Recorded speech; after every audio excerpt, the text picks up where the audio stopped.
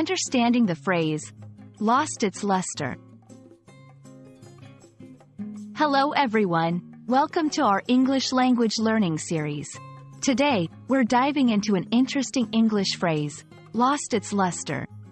This phrase is not just about the literal shine on objects but carries a deeper meaning in everyday English. Let's explore what it means, how to use it, and its origins. Lost its luster is a metaphorical phrase used to describe something that no longer appears as attractive, exciting, or valuable as it once did. Originally referring to the loss of shine or brilliance, like in metals or gems, this phrase is now commonly used in a wide range of contexts.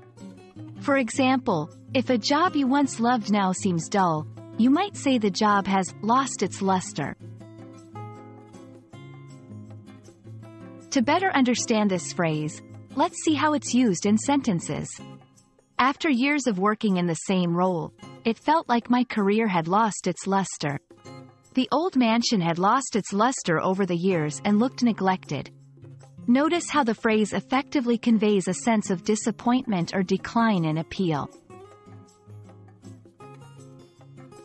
The term luster originates from the Latin word lustrare, meaning to illuminate or brighten. Over time, luster came to signify shine or brilliance, typically of metals or gems. The phrase, lost its luster, has been used metaphorically in English for several centuries, showing the evolving nature of language.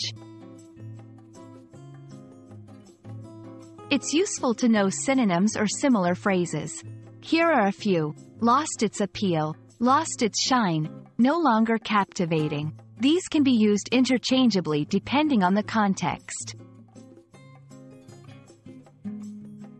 We hope this video has illuminated the meaning and use of lost its luster for you.